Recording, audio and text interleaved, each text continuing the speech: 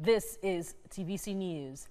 As the Easter festivities continue, the Osun State government says it will not stop the free train service provided during Christian and Muslim holidays, despite the financial status of the state.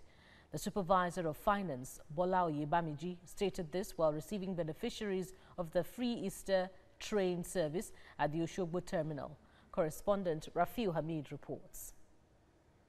Just like Rauf Aregbesola did during his eight-year administration as governor of Osun State, his successor, Gboyega Oyetola, has continued in that direction. Through this free train service, over 2,000 people were brought to the state from Lagos, Ogun, and Oyo states to celebrate Easter in Osun State. It was okay. Actually, I have opportunity to board a bus, but I decided to board um, train. Let me just feel the experience.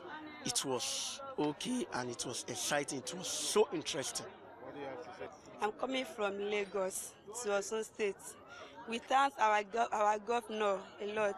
God bless him and his family. Before their arrival, another set of people had been waiting to board the train to another terminal. The supervisor in charge of the Ministry of Finance, Bola Oyebamiji, promised that government will not stop the program.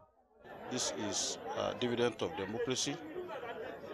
This is, uh, let me say, is a, is is uh, when he was campaigning, the issue of continuity was so stressed, and this is one of it that has materialized, and it is service to the community.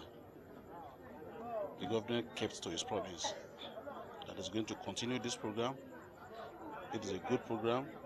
It is a program that gladdened the hearts of the people of the state of Osun. The train will return the beneficiaries and others back to their various destinations on Monday. Rafiu Hamid, TVC News, Oshogbo.